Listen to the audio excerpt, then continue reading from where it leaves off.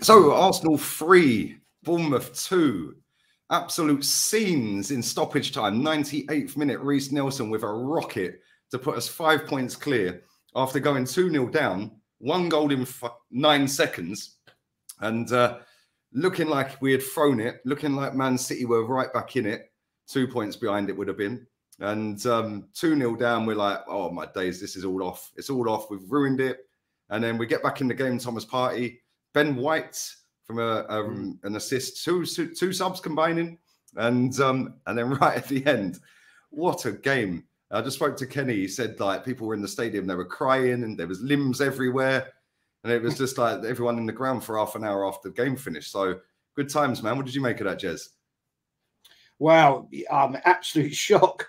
Um, when I when I was watching that on the old channel, Bing Sport, uh, I suddenly thought they're going to score here, and they did. And I was like, no way, no, no, that can't happen. You know what I mean? It, it was just unbelievable. I mean, fair play to Bournemouth. They caught us on our back foot there and uh, scored. You know, well, it just took us apart there. And then I could see it. Yeah, to me, Lee, I think I just said to you before. I think that really shocked Arsenal. Uh, we were on our back foot all the way through that first half, and there was some absolutely awful performances in that first half. Let's let's mm. put it right. Um, and then we went two 0 down put us even further on our back foot. But credit to where credit is due, he made the right substitutions and uh, Arsenal clawed it back. And what an epic end to the game. Um, I, I, you know, we got in, we're getting into the last what 90th minute, two two. And I thought, well, we're going to get a point. That will be three points clear of Man City.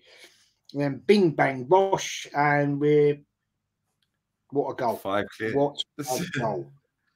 With twelve games to go, man.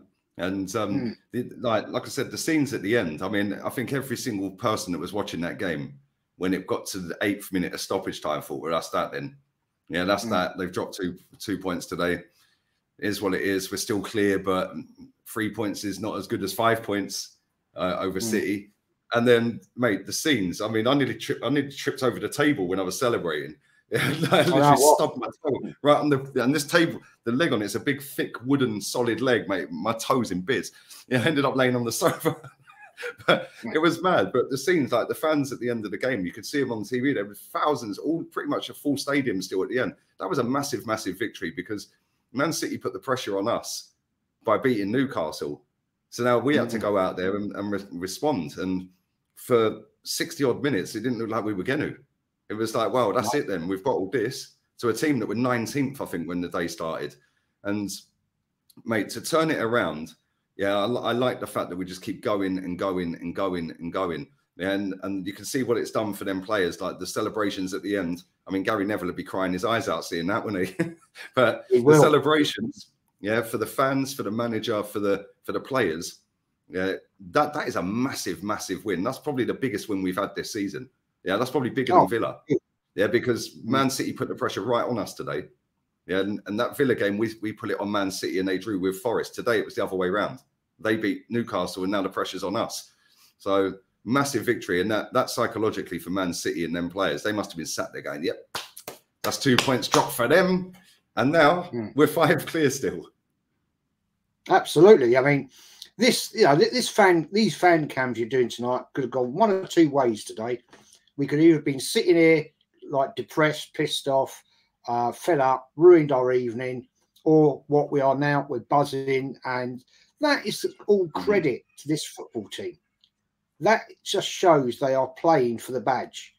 And they're playing for the club at last. And that is all you can ever, ever, ever ask of any player at Arsenal Football Club. And you and you're quite rightly, you could see what it meant to those players which says to me these players really, really want this. They really want this. And I can ask of no more than that. And I'm absolutely chuffed for them. I'm chuffed for the fact we won again under difficult circumstances. And fair play to Mr. Arteta. You know, he did the right thing, uh, making those subs when he had to. Uh, shame about Trossard uh, going off injured. I blame personally, I blame Zinchenko for that because he was out of position. I was out of position. Um, and Trossard had to sprint back, and he's obviously done something to a muscle in his groin or wherever, um, which we know can be a, na- a naughty injury. So he's probably going to be out for a few weeks now, which is a great shame. Um, but it's a great win, and we take it. You know, at the end of the day, we take it. Mm, yeah, mate. I said, I said after the Everton game, I couldn't care less how we win. Uh, I, my heart might, my heart might care because I, I, might not see the trophy parade or or the end of the season, mate. If they keep doing it like that, but I couldn't care less. It's it's not about the performances now. It's about you know getting the result. That's all that matters. Yeah, and getting mm. over the line and getting over and getting over, and we're doing it. And they're playing to the final whistle, which is something that we haven't seen until this season. You know, and, yeah. and last season we would have lost that game. Yeah, if we were 2 0 yeah. down to them, that could have been three or four. Yeah, and it could have been three or four today. Luckily, Ramsdale was on point, mates. That save he mm. made when it was 1 0, yeah. unbelievable save. Like, and, you know, defensively, we've looked all over the place today. And I hope that we sort that out because we're going up against Fulham away next in the league. And Mitrovic yeah. is a handful. So if we're getting bullied by their striker, yeah, let's let's not forget that they've got Mitrovic at Fulham and they've got some decent little tricky wingers. Willian coming back as well who's in good form for them this season. So it's not going to be easy, man. But we've got 12 more games. I don't care how we win it, Jez. We have to win this league this season, mate. We do. And, and you know, we've seen it before. We, we don't have to play the um, fabulous, sexy football that we were back in um, the two, back in the early 2000s. Sometimes I'm not, I'm not, and I am going to say this actually. We we won again today. We won ugly. It wasn't great football it wasn't pretty today. It was a battle of wits, and we got over the line with it. And we can only ever ask for that, Lee. And this is and this is the thing. Uh, we've been criticised for a very long time of saying negativity. Well, I am positive, but the fact of the matter is, this is all we've ever, ever, ever asked for, is to hmm. challenge. Mm. And we are challenging, and we've been challenging since the start of the season, and we're still there now. And it's we. And look how happy it. we've been, Jez. Look how happy and positive we've been that we're doing what we've wanted us to do.